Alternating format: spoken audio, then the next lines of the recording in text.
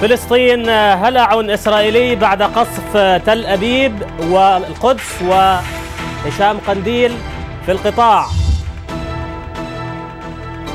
وفي الأردن مظاهرات واحتجاجات واسعة ضد الغلاء ورفع الأسعار.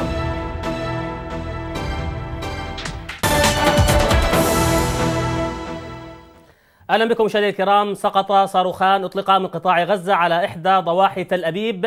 في حين أعلنت كتائب عز الدين القسام الذراع العسكرية لحركة المقاومة الإسلامية حماس أنها تمكنت من إسقاط طائرتين حربيتين إسرائيليتين كما انطلقت صافرات الإنذار في القدس بعد سقوط صواريخ على القدس المحتلة وصدقت إسرائيل على توسيع العملية العسكرية في القطاع. من جهتها أعلنت كتائب القسام أنها أصابت بصاروخ أرض جو طائرة استطلاع إسرائيلية كانت تحلق في سماء القطاع وأسقطتها فيما نفت إسرائيل ذلك.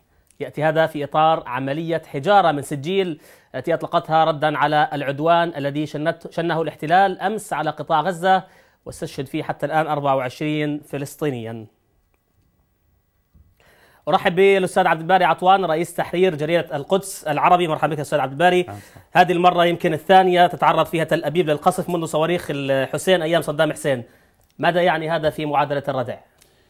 هذا يعني بأن المدن والمستوطنات الإسرائيلية في فلسطين المحتلة كل فلسطين المحتلة باتت تحت رحمة صواريخ المقاومة. هذا الزمن الذي كانت إسرائيل تقتل وتغير وتقصف وتعود دون أي ألم هذا الزمن انتهى. هذه الإرادة هذه إرادة الإيمان هذه إرادة المقاومة المؤمنة. هذه المقاومة استطاعت أن تغير المعادلات. هذه المقاومة استطاعت أن تصنع تاريخا. هذه المقاومة أذلت بنيامين نتنياهو. بنيامين نتنياهو في حالة ذل في الوقت الحالي. لا يستطيع أن يرفع رأسه. الذي كان يتطاول حتى على الرئيس الأمريكي باراك أوباما. الآن لا يستطيع أن, أن, أن ينظر في, في, في عيون المقاومين والشهداء اللي, اللي سقطوا. يعني أول مرة تطلق صواريخ كانت كانوا يقول يقولون هذه صواريخ تنك. صواريخ التنك هذه وصلت إلى تل أبيب وصلت إلى وفتشات ووصلت إلى القدس قبل أن آتي إلى هنا. قالت وكالات الأنباء بأن أحد الصواريخ هبط في مستوطنة بالقرب من القدس أو في داخل غلاف القدس. هذا يعني هذا يعني بأن المقاومة أولا حطمت حاجز الخوف وثقافة الخوف. ثانيا لم تتردد في إطلاق الصواريخ حتى تصل إلى العاصمه تل أبيب وهي خطوة لم يقدم عليها إلا الراحل آه، الشهيد صدام حسين. هذه هي الحقيقة. هذه هي يعني الآن معادلات كثيرة تحطمت الآن.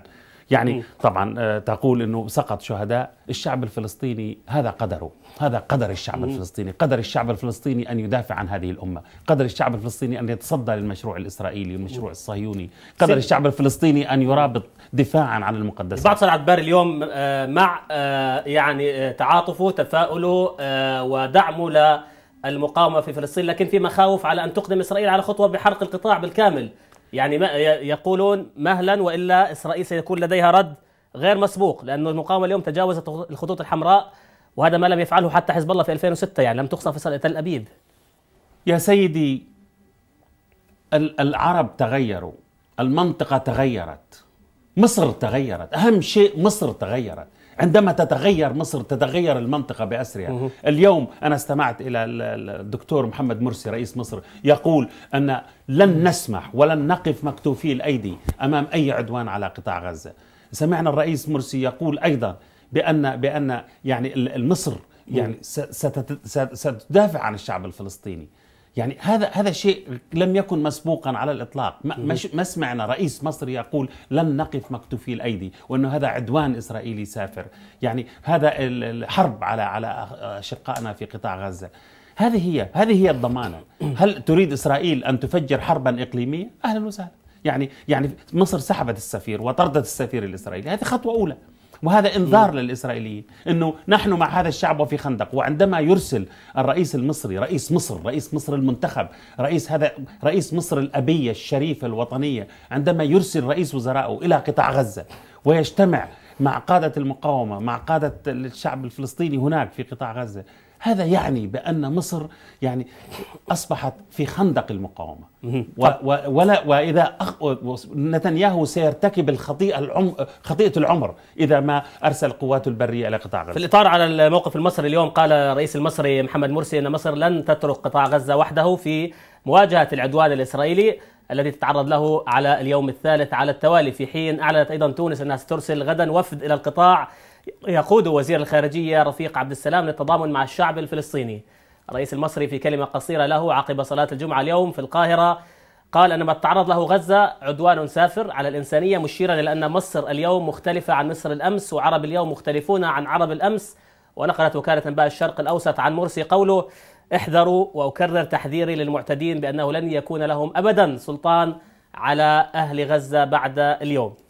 إضافية على الموقف المصري أي طبعاً. مدى يمكن أن تذهب موقف, القاهرة؟ مش موقف مشرف. م. هذا هو هذا هو ما عهدناه في القاهرة. يعني أكثر من أربعين عاما ونحن ننتظر هذا الموقف المصري الشريف. الدكتور محمد مرسي يعلم جيدا بأنه يستند على 90 مليون مصري شريف. هؤلاء كانت دائما فلسطين في قلوبهم. كانت الأقصى دائما في قلوبهم. فلما بيأخذ هذه المواقف الشجاعة يريد أن أن يقول للإسرائيليين مصر التي تعرفونها انتهت.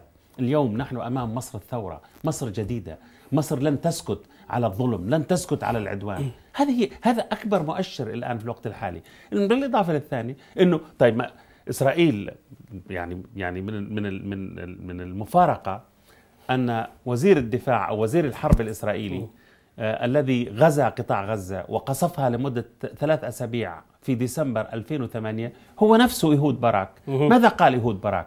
قال أننا سنقضي على الصواريخ إلى الأبد، سنحل هذه المشكلة إلى الأبد. فهي الصواريخ تعود وأكثر شراسة، كانت في الماضي كانت صواريخ القسام مصنعة محليا، يعني كثر خيرهم هالشباب قدروا إنهم يصلحوا هالصواريخ، الآن لا. الآن في صواريخ فجر خمسة. الآن في صواريخ جراد. الآن في في صواريخ الكورنت اللي تضرب الدبابات. الآن في مقاومة مدربة. الآن في السودان هذا السودان العظيم اللي تعرض لغارة إسرائيلية هذا السودان في, في اليرموك هذا السودان العظيم كان هو الواسطة لإيصال هذه الأسلحة وإيصال هذه الصواريخ إلى أبناء قطاع غزة. يجب أن نذكر هذا الفضل للسودان. هذا السودان الذي قصف أكثر من مرة. قصف في, في ميناء بور سودان قصف أيضا في القافلة التي كانت يعني في الصحراء من بور سودان إلى سيناء وإلى قطاع غزة. الأمة بتتغير. هذه طيب. الأمة تتغير واليوم السيد خالد مشعل قال سننتقم سنثأر للسودان من هذه الغارة الإسرائيلية طيب. التي استهدفتها حتى آه، ندخل إطار آه، أستاذ عبد الباري التحليل السياسي اليوم إذا تحدثنا عن هذا ال- الأمر وبدايته من الذي تورط باعتقادك هل المقاومة بتجاوز الخطوط الحمر باستهداف تل أبيب والقدس أم إسرائيل بإقدامها على اغتيال أهم رجل عسكري في الحركة؟ إسرائيل طبعا. يعني يعني عندما يعني لم أرى في حياتي أغبى من هذا نتنياهو. أول نتنياهو جعجاع لم يخض حربا على الإطلاق. يعني كل فترة هي فترتين رئاسية الوزارة لم يخض حربا على الإطلاق. يعني عمليا. فهو رجل فاشل سياسيا وفاشل عسكريا. عمرك شفت حد بيروح براهن على منافس الرئيس الأمريكي في الانتخابات الأمريكية؟ يعني شوف الغرور والغطرسة. طيب الآن اغتال الشهيد أحمد الجعبري. طيب ماذا؟ خسر أهين أهين في كرامته أهين في سياسته أهين في رئاسته. يعني عمليا إنك أنت لما لما يصل يسقط أنت بتعرف إيش معنى إنه يسقط صاروخ في تل أبيب؟ مليون إسرائيلي ذهبوا إلى الملاجئ. مليون إسرائيلي هربوا مثل الفئران إلى الملاجئ للنجاة بحياتهم عندما انطلقت صفارات الأنظار من ال- ال- ال- النوع الأحمر. يعني بمعنى قمة الخطر. طب لما تشوف مليون إسرائيلي يهربوا إلى الملاجئ متى كانت في, في, في تاريخ إسرائيل مليون يهربوا إلى الملاجئ؟ طب هذه كمان اين أين انتصاره في هذه الحالة؟ يعني هو يدفع ثمنا وبعدين كمان ثلاث أو أربع إسرائيليين قتلوا. في في مستوطنة آه، عندما سقط عليها الصاروخ. أيضا الآن وصلت إلى آه، إلى ضواحي القدس ال- الصواريخ. طب يعني أي إيش حقق؟ يعني عمليا يعني كل طب اغتيال الجعفر الجعبري طب يا سيدي ما اغت- حاولوا اغتيال محمد ضيف اللي اللي, اللي قبل الجعفري. هل يعني وق... توقفت صواريخ القسام؟ هل توقفت كتائب القسام؟ هل انتهت المقاومة؟ يا سيدي في آه، ال- الشهيد يحيى عياش. ونجحت إسرائيل في اغتياله. هذا الشهيد البطل. ماذا حصل؟ تعهدت حركة حماس بأن تنفذ أربع عمليات انتقاما له. والله أذكر وأنا أقولها لأول مرة. أنا قابلت أيام كنت في الأردن في عمان وجاء لمقابلتي آه، الأستاذ محمد نزال. آه، وكنت يعني جاء حقيقة جاء بسيارة متواضعة جدا وبسيطة جدا ولونها أحمر. يعني وكان خجولا يعني قال إنه حب يشوفني. وكان وقتي مزنوق. فبقول له بقول له يا أستاذ محمد يعني آه، أنتم تعهدتوا بأربع عمليات ليش؟ ما تتعهدوش اعملوا قد ما تقدروا. قال لا. قال هذه كتائب القسام. إذا قالت فعلت. قل قالت أربع عمليات ستنفذ أربع عمليات. وفعلا نفذت أربع عمليات في القدس وفي الخضيرة وفي تل أبيب في مم. شارع ديزنغوف وغيرها. يعني عمليا طيب. عمليا يعني قصدي ما أردت أن أقوله أنه بيقتلوا قائد في المقاومة يأتي من هو أكثر منه آه، براعة وأكثر منه أيضا تشددا. يعني عمليا فعمليا نجحوا في آه، اغتيال الشهيد آه، أحمد الجعبري سيأتي من يأخذ مكانه ويعني طيب. هذه هذه حركة سنة. تولد دائما القيادات وتولد دائما الشهداء سعود سلام بري إلى هذا الملف خاصة إضاءات إنه ما الذي ما القادم ما الذي يمكن أن يحدث كيف سيكون رد الفعل الاسرائيلي بس انضم معنا دكتور باسم نعيم وزير الصحة الفلسطيني السابق في آه، غزة. آه، دكتور نعيم الموقف السياسي الموقف الميداني الأوضاع الآن في القطاع إلى أين تتجه لو سمحت؟ بسم الله الرحمن الرحيم. بداية تحياتي لك ولضيفك الكريم أخونا الحبيب أستاذ عبد الباري عطوان ولكل المشاهدين. آه، الحقيقة منذ ساعات الظهر والأوضاع تتدحرج بشكل خطير جدا. آه، فمدينة غزة بشكل خاص وقطاع غزة بشكل عام يشهد تصعيد واضح من قبل قوات الاحتلال. هناك قصف مستمر لكل الأحياء السكنية. يمكن إحنا في المنطقة اللي إحنا موجودين فيها كل يعني عشر دقائق هناك صاروخ اف 16 بينزل بيضرب في آه، الأحياء. للأسف الشديد هم آه، هؤلاء المجرمون يستهدفون الأحياء السكنية دون مراعاة لأي ضوابط أو أخلاق أو فكل المصابين حتى هذه اللحظة وهم الآن صاروا بالمئات إضافة إلى الشهداء هم من الأطفال والشيوخ والنساء. ويمكن قدرا يعني أمام وزير رئيس الوزراء المصري توفيت طفلة عمرها سنة وأيضا أمام رئيس وفد نقابة سيادة مصر توفيت طفلة عمرها ثلاث سنوات.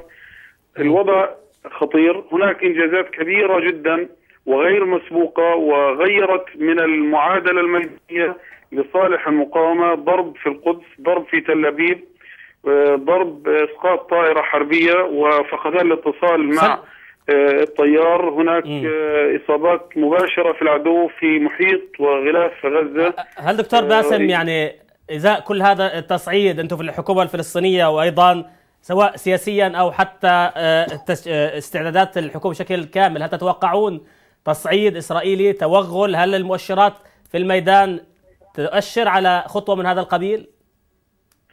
يعني هو إحنا حتى يعني حتى ساعات لم نكن نتوقع أي آه، اجتياح بري لأنه الحسبة ليست في الاجتياح البري لصالح العدو، اولا هو جرب هذه المغامرة قبل أربع سنوات.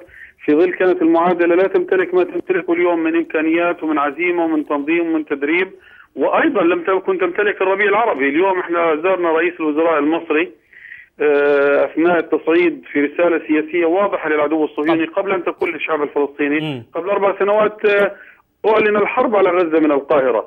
لذلك آه، يعني لم نكن نتوقع لكن التصعيد اليوم اللي بنشهده ويبدو يعني وجودهم في حالة ضغط مستمر من قبل المقاومة آه، قد يحرجهم ويدفعهم في اتجاه اتخاذ مثل هذا وهم خاصة إنهم طلبوا استدعاء القوات الاحتياط رغم إن الأخبار هنا في وسائل الإعلام العبرية آه، تتحدث عن خلاف داخل مؤسسة الجيش مع المستوى السياسي في استدعاء الاحتياط وضرورة الدخول في هذه المغامرة الخطيره ولا سيما أن الحزب جزء منها آه، يعني آه، لعبة انتخابية. هو كان طب. نتنياهو وليبرمان يرغب في انه ياخذ ابقى دكتور. آه دكتور باسم ابقى معي إذا سمحت. سأعود لك بس أستاذ عبد الباري يبدو يريد أن يرد التحية أو يعلق على ما يجري في القطاع. لا اولا أريد أن أرد التحية م. للصديق العزيز الدكتور آه، باسم نعيم. يعني حقيقة آه، وأريد أن يعني أحيي كل أبناء القطاع وكل رجال المقاومة اللي صامدين في تحت هذا القصف الشرس وأنا يعني أقول بأن هؤلاء الرجال الرجال الرجال. يعني مثلما هزموا أولمرت وهزموا باراك أوباما يهود باراك في عام قبل أربع سنوات في ديسمبر 2008 أنا متأكد أنهم سيحطموا مستقبل بنيامين نتنياهو وسيغيروا كل المعادلات في المنطقة. بس أتمنى عليهم يعني أتمنى على هؤلاء الشباب الصامدين وأيضا القيادات في في قطاع غزة. أن يطالبوا العرب أن يأتوهم ليس فقط للتضامن أن يأتوا ومعهم السلاح أن يأتوا ومعهم الأدوية أن يأتوا ومعهم التموين لقطاع غزة. يعني لا يكفي أن يأتوا ويقولوا جئنا للقطاع لنتضامن معه. يجب أن يأتوا بقوافل قوافل الدعم الدعم الدعم الطبي والدعم التمويني ولا يكفي ذلك. يعني هم يأتوا إلى قطاع غزة لكي يتطهروا لكي يقولوا نحن جئنا إلى المقاومة. فيجب أن لا يأتوا فارغي الأيدي. يجب أن يأتوا ومعهم إذا لم يستطيعوا حمل السلاح وهذا ما نتمناه أن يأتوا بالسلاح. لماذا يتبرعوا بالسلاح لكل من هب ودب؟ وعندما يأتي الأمر إلى قطاع غزة عندما يأتي الأمر إلى فلسطين عندما يأتي الأمر إلى المقاومة لا يأتوا بشيء. لا يجب أن يكونوا على قدر المسؤولية. يجب أن يكونوا على قدر المقاومة. دعني إذا أسأل فتحت النقطة سعد الباري قبل أن نودع الدكتور باسم. دكتور حصاد زيارة الدكتور قنديل. صحيا اقتصاديا تموينيا. وهل في وعود عربية أخرى يعني لكم بالدعم في القطاع؟ يعني بس قبل أن أنتقل إلى هذه النقطة أنا يعني في النهاية هذا أملنا وطموحنا ما تفضل به الأستاذ عبد الباري بأن تتقف الأمة العربية والإسلامية موقفها المطلوب من دعم المقاومة في فلسطين بكل أشكال الدعم وفي مقدمة الدعم بالسلاح.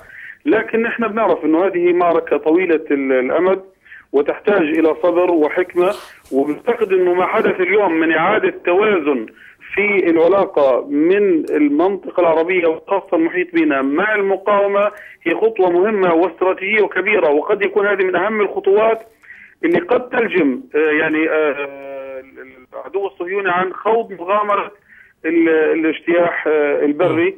اثنين بالتأكيد يعني هذه الخطوة فتحت الباب لخطوات أخرى. غدا إن شاء الله سيكون هناك وفد تونس رفيع المستوى بممثل الرئاسة والحكومة وفيه وزير الخارجية ومدير عام ديوان الرئاسة وبعض الوزراء والمعنيين. هناك حديث عن وفد أيضا مغربي قد يصل إلى غزة في الأيام القادمة. ولذلك نحن نعتقد أن هذه الوفود خطوة مهمة جدا على المستوى السياسي والدبلوماسي الشيء الثاني أيضا كان هناك حديث مباشر حول خطوات الدعم اللوجستي وخاصة في المجال الإنساني هناك. قرار من رئيس الجمهورية في مصر بفتح معبر رفح على مدار فيش وفد من رام الله يا دكتور يعني قريب عليكم من السلطة الفلسطينية يصلكم من رام الله بدل ما يجيكم المدد من دول اللي برا؟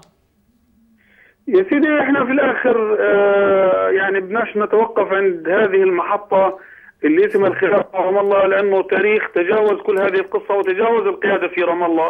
وهم إما بيلحقوا بركب المقاومة والتحرير أو يعني بدناش نقول سينساهم التاريخ كما نسي كثير غيرهم.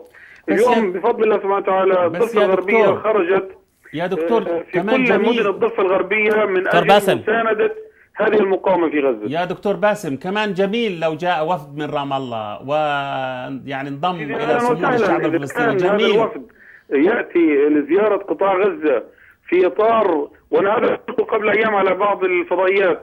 إذا كان أبو مازن عنده الجرأة أن يواجه الأمم المتحدة الولايات المتحدة الأمريكية وإسرائيل في خطوة الذهاب إلى نيويورك فلماذا لا يمتلك هذه الجرأة ليواجه الفيتو الأمريكي والإسرائيلي على المصالحة الفلسطينية الفلسطينية قبل أن يذهب إلى نيويورك مم. ونذهب دكتور. خطوة سواء كانت مقاومة أو نيويورك أو غيرها موحدين بدل أن نذهب آه، منقسمين لكن قد يكون هذا الشرف يعني لم يكتب الله سبحانه وتعالى له أو لهم أن ينالوه شرف مم. المقاومة تمام. الصادقة المخلصة شكرا لك آه، دكتور أشكرك يا دكتور باسم نعيم وزير الصحة الفلسطيني السابق على كل حال آه، على هذه المداخلة واتركك لأشغالك الباقية خاصة في ظل هذه الصعوبات. بس آه، يعني إحنا مش وقت الانقسام الفلسطيني بس أنا حبيت أسأله. الناس جايين من كل العالم ليش ما يجوا من الجار من من رام الله من السلطة الفلسطينية يعني؟ هذا مش وقت تصفية حسابات. يا سيدي آه، يعني كنت أتمنى أنا شخصيا لو مثلا نزل مئة ألف إنسان في ميدان المنارة في رام الله ليظهروا التضامن مع آه، آه، المقاومين في قطاع غزة. يعني كنت أتمنى يعني نحن شعب واحد نحن أمة واحدة نحن عقيدة واحدة. يعني لماذا لا, لا يخرج طب عندنا مظاهرات في لندن وعندنا مظاهرات في آه، واشنطن وعندنا مظاهرات في القاهرة في ميدان التحرير. طب لماذا لا تكون هناك مظاهرات تضامن مع الش... مع مع يا سيدي مع مع أهلنا في قطاع غزة م- من قبل الأهل في الخليل وفي رام الله وفي طول كرم وفي نابلس. يعني ماذا يمنع امبارح كان ذلك؟ في شوية كان في مظاهرات في قادة سياسيين كانوا يشاركوا يعني لا الان يا أخي إحنا ما بدنا إحنا ما بدنا ما بدنا ما بدنا نعلنه بعلين 50 واحد معظمهم أجانب لا بدنا الشعب الفلسطيني كله يخرج. كل الشعب الفلسطيني في الضفة الغربية في قطاع غزة في لبنان في سوريا في كل مكان في مصر يخرجوا حتى يشعر آه، أبناء قطاع غزة وهم يتعرضون للصواريخ وللقصف أنهم ليسوا وحدهم. يعني أنا يعني أت يعني أستغرب يعني الرئيس محمود عباس مشكورا قطع زيارته ورجع على رام الله. لكن كنت أتمنى أن يكون على رأس مظاهرة على رأس مظاهرة تضامن مع مع مع الأهل في قطاع غزة. يا سيدي طيب. يروح على غزة. طيب بلاش. مظاهرة. يا أخي لا يجب يعني هو لا ما لما بأشروا أنه تطلع مظاهرة للتضامن معه عندما ذهب إلى الأمم المتحدة في العام الماضي خرج أكثر من 10000 أو 15000 أو 20000 في رام الله. طيب يا أخي يأشروا يطلع 20 حتى يشوف العالم ويشوف العرب ويشوف ال- ال- الإسرائيليين أيضا بأنه في تضامن مع أبناء قطاع غزة في من قبل أشقائهم طيب. في رام الله. عود- وين المشكلة؟ يعني هل طب هاي بتحتاج بتحتاج إلى إلى إلى صعوبات يعني؟ لا بدها بدها شيء يعني طيب. بس الناس والناس مشاعرهم شريفة مع ومشاعرهم مت- متأججة. وحقيقة يعني يعني هلا إسرائيل مشغولة في في القصف في تداول هذا الأمر. مش فاضي تعطي تصاريح ال VIP للمسؤولين الفلسطينيين في رام الله. إنه طلع من من, من رام الله بده يتوجه بده تصريح من إسرائيل. على كل حال آه في تعليق آه، أستاذ عبد الباري؟ يا أخي ال VIP ضل في VIP يا أخي ضل في VIP والله عيب والله عيب. والله لازم يكونوا مع شعبهم. والله لازم يكسروا ويمزقوا تصاريح ال VIP ويقفوا مع شعبهم على الحواجز. حتى يشوف الشعب إنهم هم ملتصقين في هذا الشعب. ويعني يعني يعني ما بعرفش إيش إيش مشا... بعدين كمان المسألة مش يا أخي مش محتاجة. يا أخي هذه فرصة. هذا الشعب الشعب عزيز في الضفة الغربية شعب بطل قمعوه بما فيه الكفاية. يعني قمع من إسرائيل وقمع من من الامن الفلسطيني. لازم هذا الشعب أن يكون إلى جانب أشقائه في قطاع غزة. بس هو بس من من باب ال- العتب الحديث عن هذا الموضوع خاصة إنه يأتي في ظل الصواريخ تسقط على على القطاع لأنه الآن مش مدار الحديث نتكلم عن الانقسام وغيره. أريد أعود معك أستاذ عبد الباري إلى الملف الأساسي يمكن طرحه الدكتور باسم نعيم. في 30 ألف جندي إسرائيلي احتياط يح- يعني يحشدوا وفي استنفار. هل تعتقد الآن إنه في توجه نحو توغل بري للقطاع يعني شوف الآن آه، نتنياهو أهين ليبرمان أهين يهود باراك أهين. يعني لم- يتوقعوا أن تصل الصواريخ إلى القدس وإلى تل أبيب. هذا كان بالنسبة لهم في الماضي خط أحمر ويعتقدوا أن العرب يخافون ويترددون. لكن ال- الآن الآن يعني خرقت هذه الخطوط الحمر. وخرقت ثقافة الخوف أو تدمرت ثقافة الخوف وكسرت. الآن ماذا سيفعلون؟ أنا أراهم أنه مثل مثل ال- ال- ال- المقامر اللي يخسر ويخسر أكثر يقامر بأموال أكثر من على أمل أن يسترد خسائره.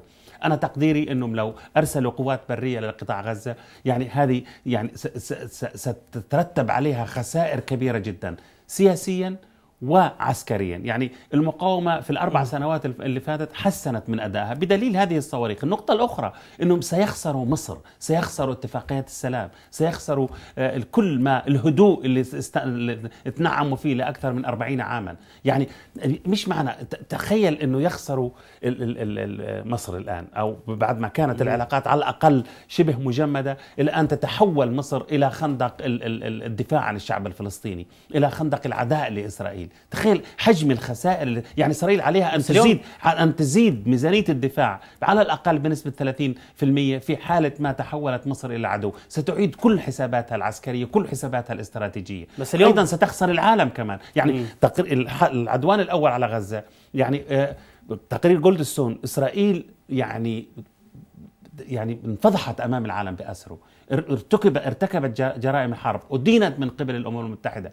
ف يعني الآن هم على خلاف مع أوباما آه، خاصة نتنياهو. هم على خلاف مع معظم الأوروبيين. أصبحت إسرائيل عبء على الأوروبيين رغم هذا الكلام المعسول بأنه إسرائيل تدافع عن نفسها الآن. تغيرت اللهجة الأوروبية لأنهم أدركوا أن المنطقة كلها ستتغير إذا ما أقدمت إسرائيل على حماقة أخرى في قطاع غزة. بس اليوم آه، أستاذ عبد الباري كان أثناء زيارة الدكتور هشام قنديل إسرائيل استمرت في في القصف، البعض قال إنه هذا ربما أيضا رسالة لمصر بأنه إذا تطور الموقف أكثر كمان إسرائيل راح تعيد حساباتها ولا كيف تنظر هذا؟ كمان أيضا استمر القصف الاسرائيلي واستمرت الصواريخ الإس- الفلسطينية تهطل كالمطر على المستوطنات الإسرائيلية، مم. يعني كمان هم ما استمروا بهذا كمان المقاومة لا لا لا استمرت، وهذا هو التحدي، يعني قالوا لا الم- قيادة المقاومة في قطاع غزة وقالت بأنه إحنا لن نتوقف عن إطلاق الصواريخ، لن نقبل بهدنة، هذا شوف الشجاعة، شوف عزة النفس، شوف الكرامة، يقول لك لن نوقف الصواريخ، لن نقبل بهدنة. يعني عمليا في تكافؤ مش تكافؤ طبعا في القوة على الأقل في تكافؤ في في, الإرادة في الردع. يعني عمليا بتطلقوا صواريخ طيب تفضل مش عاجبكم تل أبيب؟ طيب هينا قصفنا القدس. مش عاجبكم بكرة إيش بدكم؟ بدنا نقصف حيفا وبدنا نقصف يافا وبدنا نقصف آه، كل كل ال- ال- التجمعات ال- الإسرائيلية في الأرض المغتصبة. هذه هي الحقيقة. هذا هو الشيء اللي اللي ما في خوف شوف بعد اليوم ما فيش خوف. بس إيش بدنا نعمل أبناء قطاع ال- غزة؟ يعني- حاصرينهم آه. من عشر سنوات. هل استسلم أبناء قطاع غزة؟ لم يستسلموا على الإطلاق. وكانوا جوعوهم. حصوا لهم الكالو- الكالوري صار يحسبوا الكالوري بحيث إنهم بس يضلهم على رمق الحياة. ما يموتوش بس يعني ما يبقيهم يعني هزيلين.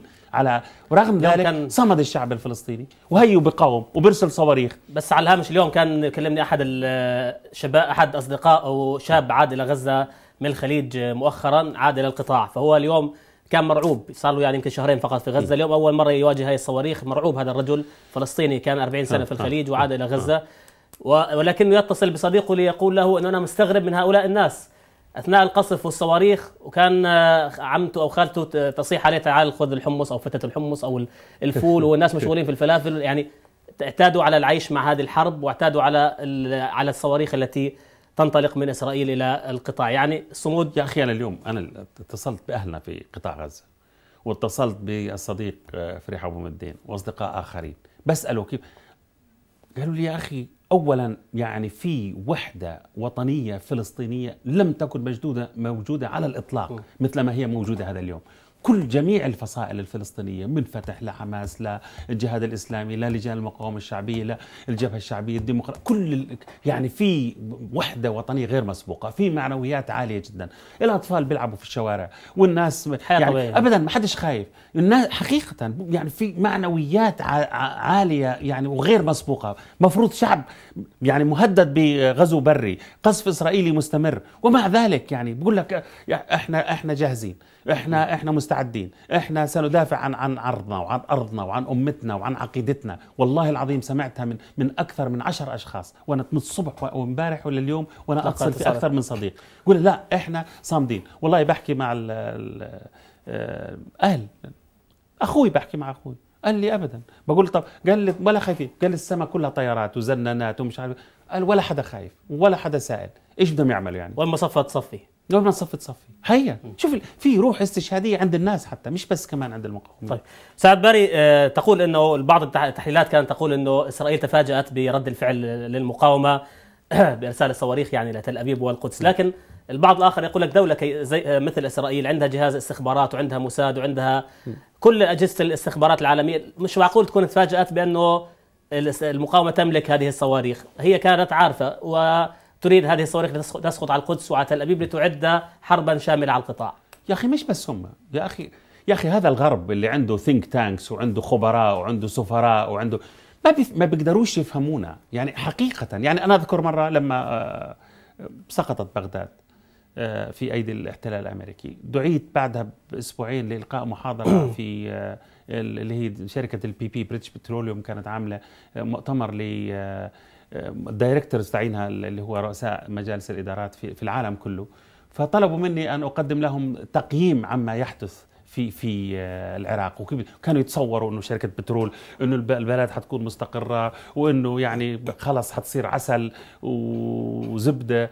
فقلت لهم لا قلت لهم هذا الشعب العراقي زي كل الشعوب العربية والإسلامية هذا شعب كريم شعب عزيز لن يقبل بالاحتلال وسيكون هناك مقاومة ومقاومة شرسة وسيدفع الأمريكيون ثمنا غاليا مقابل هذا الغزو. أخطأوا خطأ كبيرا وسيخرجوا مهزومين والله العظيم لدرجة أنه الشخص اللي دعاني فصل. لأنه قال لك جايب لنا واحد مجنون بيحكي لنا بمقاومه بيحكي لنا كذا وإحنا هاي احتلينا البلد. والله فصلوه. الشخص اللي كان عربي من من أصل آه، أمريكي من أصل عربي. فصلوه. فصلوه. لأنه قال لك جايب لنا واحد بيحكي لنا بهذي. عبد الباري عطوان بهذي بقول كلام في غير الدائره والله وشو شو صار في العراق؟ نفس الشيء مرة نادي دبي للصحافة دعوني وكان خصمي ال- المرحوم الرم- الربعي. فكانوا فرحانين زهوة إنه كانت انه إنه تحررت نحن الذي حررنا العراق وإحنا قلت العراق لم يتحرر العراق تحت الاحتلال وستأتي المقاومة وستكون مقاومة شرسة وستندم على اليوم اللي ايدتوا فيه غزو العراق. وهم الآن يندمون على اليوم اللي اللي أيدوا فيه غزو العراق. نفس الشيء اليهود كل هذا بقول لك د- خبراء وثينك تانكس وبيفهموا متطورين وكمبيوتر. يا أخي إرادة الإنسان تهزم الكمبيوتر وتهزم كل الأشياء هاي. نتنياهو لم يتوقع أن أن تصل الصواريخ إلى تل أبيب. لم يتوقع أن يأتي الانتقام الفلسطيني لمقتل الشهيد أحمد الجعبري بأن تصل الصواريخ إلى القدس وستصل مرة أخرى إلى القدس وإلى تل أبيب. خلال يقول يعني فورا طلعوا على التلفزيون يقول لك إنه دمرت ال- الطائرات الإسرائيلية مخزون المقاومة من الصواريخ. بعدها كيف ردوا عليهم؟ ضربوا القدس. اليوم قالوا أنكروا سقوط طيارة كمان. وأنكروا وس- وسيعترفوا بسقوط طائرة. فعمليا عمليا هم يكابروا لأنه ما توقع فوجئوا بس فوجئوا. خلال معقول خلال خمس سنوات أو ست سنوات من خمس سنوات من 2008 لليوم لم تكن إسرائيل تعرف ما الذي تعد المقاومة ما الذي يجري. لم تكن تعرف قدرات تسليحية لوين وصلت. يعرفوا بس ليس إلى هذه الدرجة. ولا لماذا قصفوا قافلة ما قالوا إنه قافلة أسلحة من آه، بور السودان إلى إلى آه، عبر الصحراء؟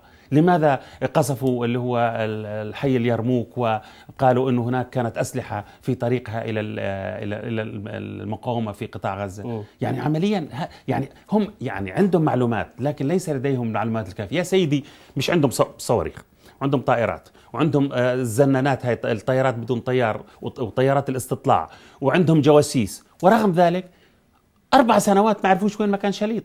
أربع سنوات! والفضل للشهيد أحمد الجعبري وزملائه.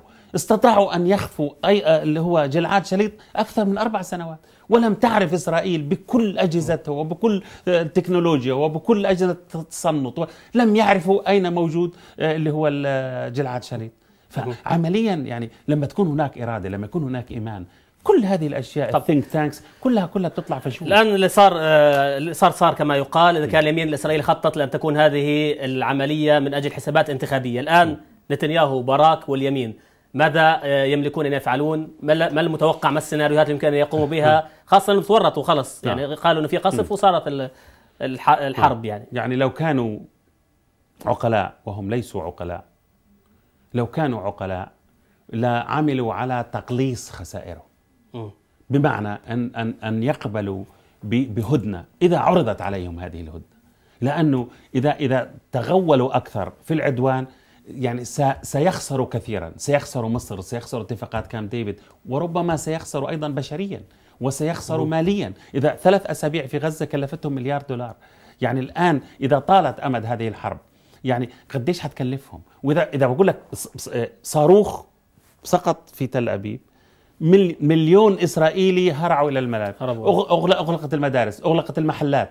طب قديش بتكلف اقتصاديا هاي؟ يعني مش بنحكي على على غزة. إيش في عندهم غزة اقتصاد يا حسرة ولا عندهم إيش؟ شوية بندور. وشوية خيار. فلفل. لا بس هنا عند ولا فيلم هنا عندهم صناعات وعندهم تكنولوجيا وعندهم آه يعني كل شيء محسوب بال- بالفلس. طيب. فبالاضافه إنه اذا لما قلت ثلاث أسابيع كلفتهم آه مليار.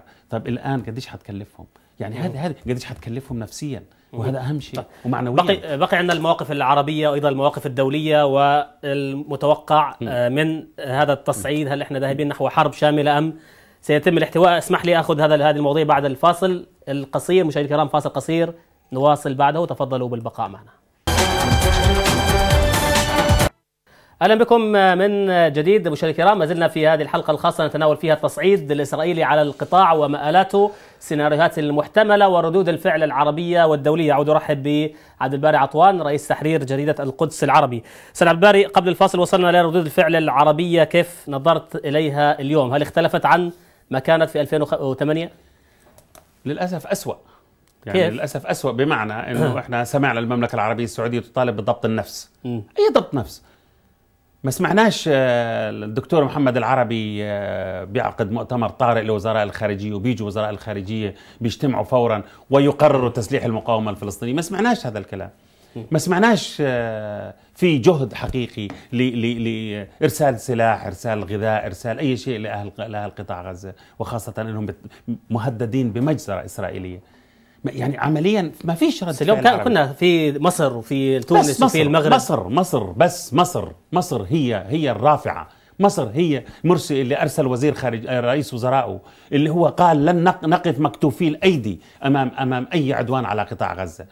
يا ريت تسمعنا المملكة العربية السعودية تقول لن نقف مكتوفي الأيدي آه، تجاه أي عدوان على أبناء قطاع غزة، لماذا لم تقل ذلك؟ لماذا لم يخرج الملك عبد الله بن عبد العزيز خادم الحرمين الشريفين ويقول لن نقف مكتوفي الأيدي، ويقول لامريكا أنت تتحملي مسؤولية ذبح الشعب الفلسطيني، ولا الدم الفلسطيني رخيص لهذه الدرجة، لم نسمع أيضا من من من حكام الدول الخليج الأخرى أي أي أي موقف آه، رجولي تجاه الشعب السعودي الفلسطيني. في رحلة علاج خارج السعودية كأنه. لا لا موجود في في في الرياض موجود في الرياض وتعافى والحمد لله وربنا يعطيه طول الصحة. يعني يا أخي وزير خارجيته يحكي؟ يعني عمليا يعني هذه يعني إنه إنه آه، في في مجزرة تنتظر الشعب الفلسطيني. طب بس بس يعني لما بتيجي عند الدم الفلسطيني الكل بيطالب بضبط النفس أي ضبط نفس؟ يجب أن يقول ما قاله الرئيس مرسي. لن نقف مكتوفي الأيدي. هذه جريمة حرب. هذا عدوان على على أشقاء. سنتصدى له بكل الطرق والوسائل. يجب أن يقول ذلك. العاهل السعودي الملك فيصل رحمه الله قال أعلن الجهاد من أجل تحرير القدس ودفع حياته ثمنا لذلك. هذه المواقف التي نريدها من المملكة العربية السعودية اللي هي الاولى القب- اللي هي ال- ال- القبلتين ثالث. يعني القبله قبلة المسلمين جميعا اللي حيث الحرمين يعني عمليا يعني هذا هذا اللي ننتظره. طب بس- يجب أن تكون القدوة. مم. يجب أن تكون الم- ال- ال- المحرض آه، من أجل حماية آه، المقاومة في الأرض وخاصة هذه مقاومة إسلامية. كمان كانوا ضد المقاومة العلمانية. طيب يا سيدي مقاومة إسلامية. ويا سيدي مقاومة سنية كمان. مقاومة سنية هذه. مش هم بتدرعوا إنه سنة وشيعة. هاي مقاومة سنية. وحماس ادارت ظهرها لسوريا وادارت ظهرها لايران هي قاعد لماذا لا يساعدوهم في الأرض في في, في الأراضي المحتلة؟ هذا اللي هذا اللي يجب أن نقوله ولا نخاف من قوله. يعني عمالين قسموا العرب إلى سنة وشيعة.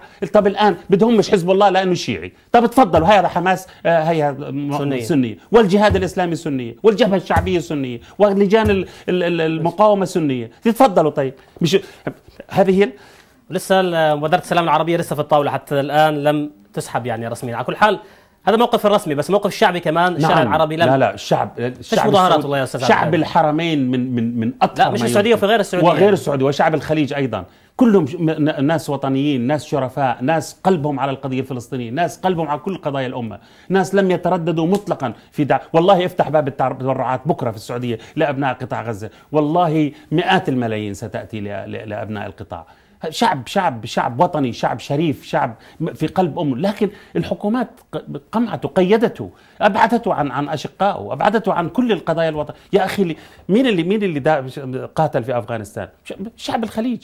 مين اللي مين اللي حتى الآن كمان في سوريا مين بيقاتل كمان؟ في شعب شعب الخليج. والله عارف. طب عمليا عمل طب ليش ليش ليش ما تتوجه أيضا هذه هذه الطاقات إلى إلى أبناء إلى أبناء فلسطين اليوم- إلى إلى الأراضي المحتلة إلى لمواجهة الإسرائيليين أيضا؟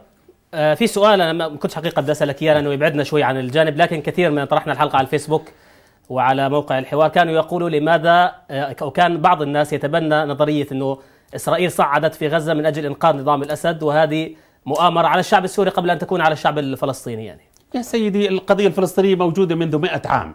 يا أخي الشعب الفلسطيني يقاتل منذ مئة عام قبل الأسد وقبل أبو الأسد وقبل كل ال- الهاي.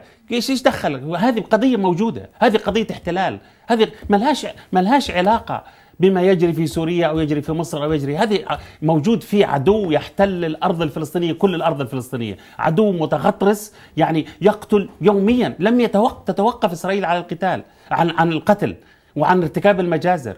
طب ما هي حرب غزة لما صارت عام 2008 طب ما كانت كانت في يعني كانت هذا من أجل آه، حماية سوريا أو غير سوريا أو مصر أو غيرها. لا هذا في عدوان مستمر.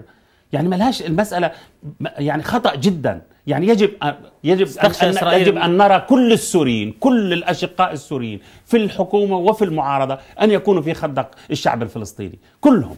يعني يجب أنا كنت أتمنى أن أن تخرج المعارضة السورية وتقول نحن مع فلسطين، نحن مع أبناء قطاع غزة، هذه هي القضية المصيرية، هذه هي قضية القدس، هذه ليست قضية الشعب الفلسطيني، هذه قضية الأمة الإسلامية بأسرها، كنت أتمنى أن أن يخرج معاذ الخطيب الرئيس الجديد للائتلاف الوطني السوري وأن يقول نحن مع فلسطين ونحن مع أبناء ال- القدس ونحن مع أبناء غزة، كنت أتمنى محمد المقريف اللي هو رئيس المجلس ال ال ال الوطني أو ال- ال- الليبي اللي هو رئيس البرلمان. كنت أتمنى أن يعقد مؤتمرا صحفيا وأن يقول نحن مع أشقائنا في فلسطين. الشعب الليبي شعب وطني وشعب شريف ودائما كان يقدم طيب. من أجل الشعب الفلسطيني. رح- نفس الشيء كنت أتمنى في مم. كل مكان.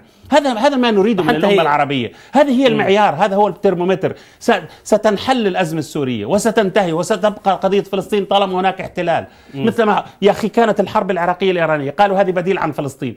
ولم تكن بديلا عن فلسطين. قالوا الحرب اللبنانية ستكون بديل عن لم تكن بديلا عن ظلت فلسطين في وجدان كل إنسان عربي ومسلم بسبب الأقصى وبسبب المقدسات وبسبب. أنها تاريخيا كانت دائما أرض الرباط. رح انتهي الموقف الدولي قبل ما أروح على الموضوع الثاني. ليش أستاذ عبد الباري نفس الموقف ال... نفس المجتمع الدولي بريطانيا وفرنسا وأمريكا؟ تدعم هنا وهناك لكن عندما يصل الأمر لا للفلسطينيين لنا للفلسطينيين أو للموضوع الفلسطيني اللاءات الثلاثة بالأمس كانت لا أمريكية ولا بريطانية ولا آه، فرنسية للفلسطينيين ونعم لإسرائيل. كانوا الثلاثه على قلب رجل واحد في دعم إسرائيل وفي إدانة موقف آه، حماس والفلسطينيين بشكل عام يعني. صدقني لأنهم لم يتوقعوا أن تملك المقاومة صواريخ فجر التي وصلت إلى تل أبيب وإلى القدس. صدقني لأنهم كانوا أيضا لا يملكون المعلومات. وعندما شاهدوا هذه الصواريخ تهطل كالمطر وتفشل القبة الحديدية لأنها صواريخ مؤمنة هذه الصواريخ المؤمنة اخترقت هذه القبة الحديدية لما وصلت إنه الآن بدأوا يطالبوا بضبط النفس، بالأمس كان يقولوا من حق إسرائيل الدفاع عن نفسها، الآن أصبحوا يطالبوا بضبط النفس لأنهم يعرفون جيدا مخاطر هذه الحماقة الإسرائيلية، مخاطر هذه الجريمة الإسرائيلية. ليش تدعم يعني الدول الغربيه تدعم آه، تحرر في العالم العربي نعم. ولكنها لا تدعم فلسطين لا يعني ما هي فلسطين لأنه لأنه العدو إسرائيلي، وين برنارد هير الليبي؟ وينه؟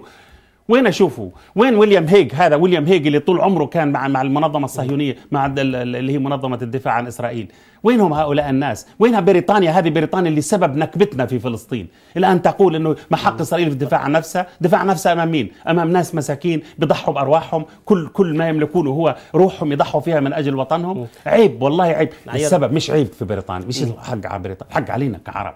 إحنا لو إنا عرب ومسلمين لو عندنا الشجاعة والقدرة لو مين طلع وقال لويليام هيج ولا قال هيلاري كلينتون ولا قال لفابيوس تاع فرنسا إنه هذا شعب يذبح وهذه دولة مجرمة وارتكبت جرائم حرب. والله لو عارفينه في رد فعل عربي والله ما قالوا هذا المعايير المزدوجه راح تبقى حتى في زمن الانضمام لا وفي زمن لن تبقى. والله لن تبقى والله لن طيب. تبقى. الأمة تتغير والمنطقة تتغير. والله العظيم سيدفعوا ثمنا. يا سيدي أنا أقول لك شيء. نايمين اليوم هاي, هاي ال- ال- الرئيس الصيني الجديد قال لك في أربع سنوات ستصبح الصين الدولة ال- ال- ال- طيب. رقم 1 في الاقتصاد في العالم. حنروح على ال- آه، روح. وين ما بدك روح يلا. حنروح على الأردن لأنه كمان في جيراننا. في تغير هناك في الأردن جنب آه، فلسطين جنة. على أهلا والله العظيم ستتغير كل المنطقة الناس مش مشغولين بالكاز والبنزين. أمس كان أحد النقابيين يقول هم أيضا مشغولين في ال- في الهم الفلسطيني. على كل حال في الأردن خرجت عشرات المسيرات في العاصمة عمان والمدن والقرى الأردنية بعد صلاة الجمعة فيما أطلق عليه أو أطلق عليه ناشطون جمعة الغضب.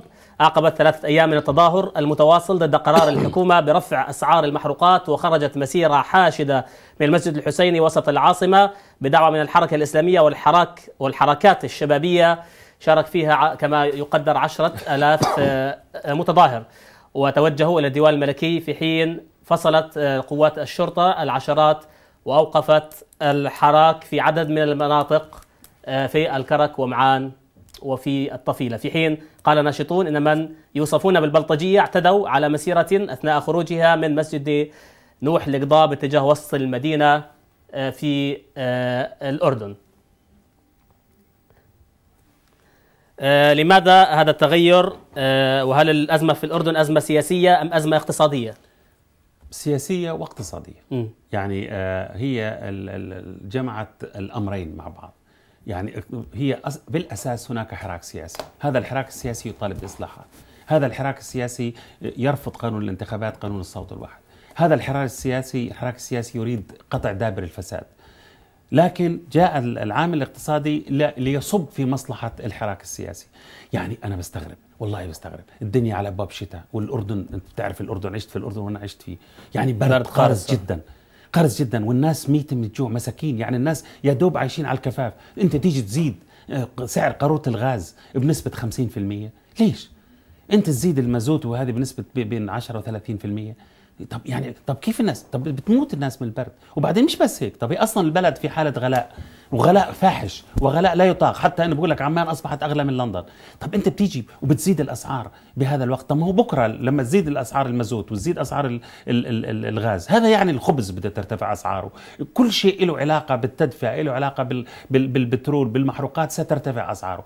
كل شيء حيرتفع. فأنت عمليا أنت بتقتل الشعب. هيك. أنت بتزيد من من معاناته. في مشكلة المشكلة طبعا أنا بقول لك في عجز في الميزانيه في الميزانية حوالي 3 مليار دولار. بس ليش يصير عجز في الميزانية؟ يعني ليش ما يصير في فرض ضرائب على القطط السمان في الأردن الأغنياء وسد هذا العجز؟ ليش ما يصير مثلا انه وضع خطط اقتصادية كل كل كل شهرين أو ثلاثة شهور في عندنا حكومة جديدة في الأردن؟ ليش ما تكون في حكومة قوية وتضع خطط اقتصادية وتضع خطط تقشف؟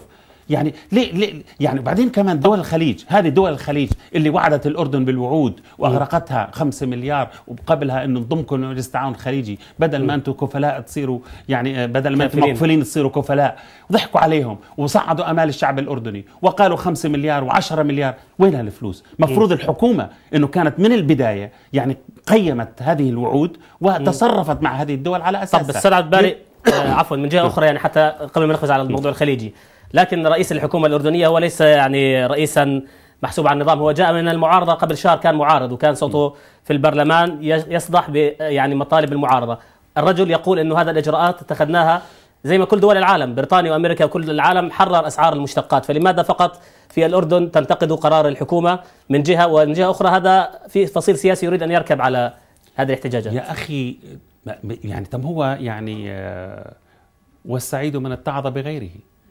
يعني عمليا طول عمرها يعني المسألة مش محتاجة فذلكه ولا محتاجة شطارة. في مايو 1989 آه، رفعوا أسعار المازوت حصلت انتفاضة في مدينة معان.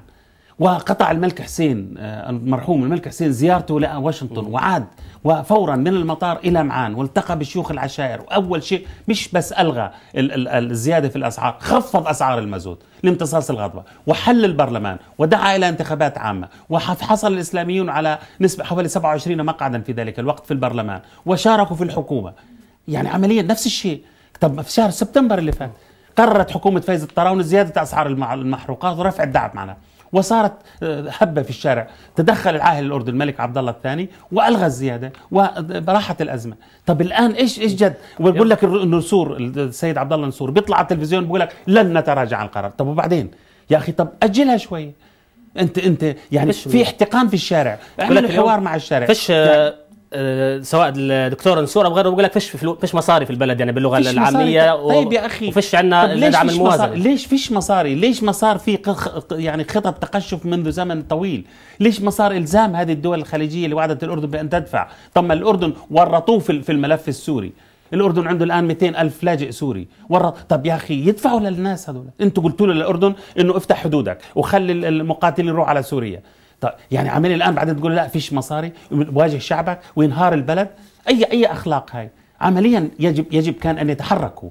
يجب كان الأردن أن يقول أنا كنت أتمنى لو ظهر العاهل الأردني على التلفزيون وحكى صارح شعبه بالحقيقة وقال حتى لهذه الدول اللي وعدته ولم تفي بالوعود كمان أيضا وضعها أمام مسؤولياتها وألغى هذه القرارات. حقيقة يعني عمليا تحتاج حوار يجب ان يعني العناد لا يفيد، العناد هو الذي يؤدي إلى الدمار للبلد، عمليا لابد من حوار ولابد من تفهم من الجانبين ولابد من قطع طب. دابر ال- يعني ال- يعني يا أخي يا أخي إذا ال- الذهبي محمد الذهبي تاع المخابرات إنه اكتشفوا إنه عنده 60 مل- 60 مليون جنيه بس في في في غسل أموال صفقة 60 مليون دينار. طب يا أخي كيف كيف هذا عمل 60 مليون دولار؟ عبد الباري هل- طب هم مش شايفين هذه القطط السمان؟ كيف الموظفين كانوا براتب عاديه جدا مم. أو محدوده صار عندهم فلل في عمان الغربية. طب مش كان لازم يحققوا ويعرفوا إنه من وين من وين جبت هاي؟ أنت موظف راتبك مثلا 1000 دينار 2000 دينار 5 5000 دينار كيف جبت هال؟ يعني عمليا مفروض مصارحة ومفروض بداية جديدة مفروض انحياز للفقراء. لازم ال- الحكومة تنحاز إلى الفقراء. ولازم قال لك إنه دعم انه إنه بدهم يعطوهم فلوس مقابل الزياده ما كل ما هي التضخم آه، بكلها أصلا. يعني إيش بتفيد؟ يعني يعني عمليا حتى ال- ال- ال- التعويض طيب. اللي قرروا يعطوه مقابل زيادة الأسعار المحروقات للفقراء. يعني قليل جدا لا يغطي ثلث طبعا كنت اسالك عن ال- ال- الموقف. الخليجي. لماذا دول الخليج العربي لن لا تتدخل لا تدعم الأردن وتترك المملكة تواجه آه، هذا ال- القدر اللي المفروض الآن. بينما هي أنظمة الخليج كانت فترة هبت كما قلت يعني. ليش الآن سيترك الأردن لمصيره المحتوم؟ لأن الأردن أذعن لهذه الدول. لأن الأردن لم يقف موقفا صلبا. لأن الأردن لم يعتمد على نفسه ولم لم يدير ظهره لها لما ساعدوه. هذه المشكلة. يعني عندهم ألف يا أخي في 3 تريليون دولار محطوطة صناديق سيادية مستثمرة في الغرب. ثلاثة يعني ثلاث آلاف مليار, مليار دولار. دولار. طب يا أخي طب يعني الأردن لا يستحق 3000 مليار دولار. الأردن لا يستحق يا أخي فتات. والله فراطة. هاي إنه بتنعشوا. وحتى بضوابط. وبعد بقول لك إنه لا في فساد. طب أنتم يا أخي تعالوا حطوا ادفعوا الفلوس هذه وتأكدوا زي ما بتدفع الدول المانحة للسلطة الفلسطينية. ممنوع فلس يطلع في غير محله. تعالوا حطوا صناديق واشرفوا أنتم على هالمساعدات واشرفوا أنتم على التنمية. أوجدوا وظائف- لهؤلاء الناس. يعني عمليا يعني بس المشكلة إنه الحكومة الأردنية أو الحكومات الأردنية المتعاقبة ما تعاطت بشكل جدي. يعني إنه ابشر يروحوا له آه ابشر طال عمرك جاي لك الفلوس. ما جاتش الفلوس. مات هي الأردن على وشك على حافة الانهيار.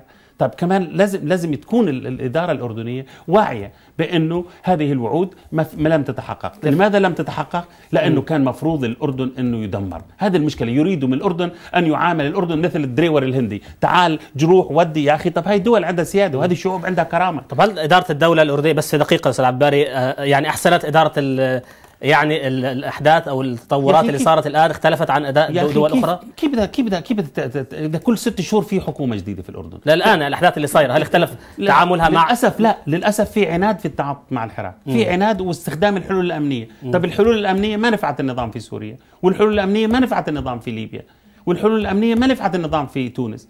طب عمليا يا أخي طب تعلموا من جيرانكم. الحوار هو الأساس. يعني يعني لازم يصير في في تنازلات للشعب وتجاوب معاه من أجل تمرير الأزمة لأنه الخسارة للكل للنظام وللشعب يعني إيش إيش. بيستفيد ال- الشعب مثلا إذا شكراً. دمر الأردن وإيش بيستفيد النظام اذا إذا عدم الأمن مثلا تمام. وصارت فوضى في الشوارع وكل يوم مظاهرات واعتصامات لا بد. من حوار ومن حل يفضي- ولا بد أن يتدخل العاهل الأردني وأن يخاطب شعبه وأن يضع حدا لهذا. التوتر وإصلاح آه، من الداخل شكرا إصلاح من الداخل شكرا جزيلا لك آه، أستاذ عبد الباري عطوان آه، رئيس تحرير صحيفة القدس العربي أشكرك جزيلا شكرا لكم مشاهدينا الكرام بهذا نصل لختام هذه الحلقة من أضواء على الأحداث أشكركم على المتابعة دمتم في أمان الله وفي رعاية الله.